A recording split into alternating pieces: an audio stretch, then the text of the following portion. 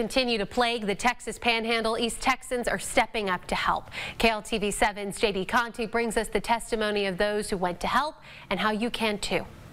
There was an entire neighborhood or two that just home after home after home was burnt to the ground.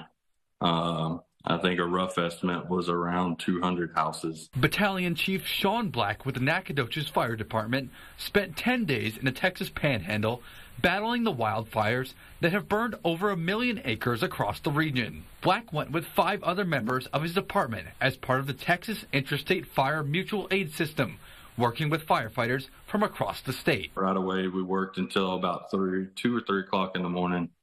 Um, we got released, then we started over again at, at six in the morning. Now back in East Texas, Black says those in the panhandle need our help with everything from basic supplies to farm equipment. Things that people are going to need uh, that we may not even think about. Um, you know, fencing they got cut or burn the post got burned down or anything like that. The City of Tyler's Recycling Center is just one place in East Texas holding donations for the Panhandle.